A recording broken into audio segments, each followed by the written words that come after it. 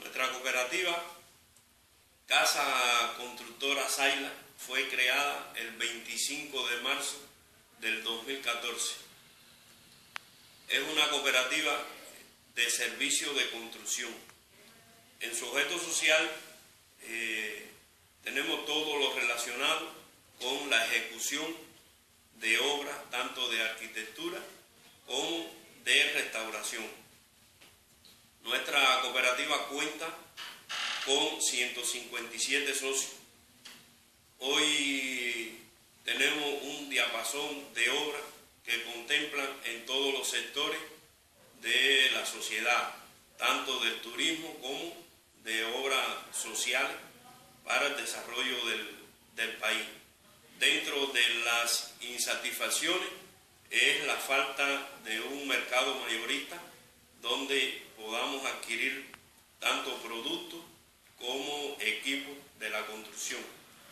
Y dentro de las satisfacciones que tenemos es haber creado una, una CNA con un equipo técnico eh, capaz de enfrentar cualquier tipo de obra y haber logrado una rentabilidad, haber logrado una eficiencia que nos da la medida de la viabilidad de este, de este proyecto, más el reconocimiento tanto del sistema estatal como de la sociedad en su conjunto.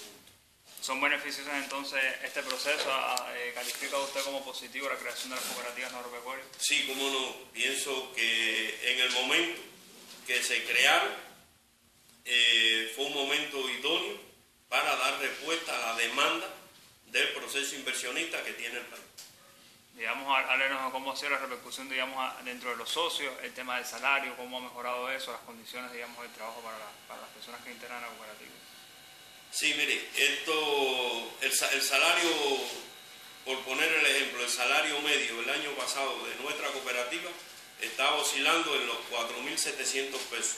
Esto da la medida de haber cumplido un plan de producción con eh, una eficiencia que posibilitó haber, haber llegado a, pagar o que cada uno de los socios hubiese obtenido un salario para eh, resolver los problemas personales que dentro del principio del cooperativismo la mayor satisfacción es esta, poder al menos eh, solventar las carencias de cada uno de los socios.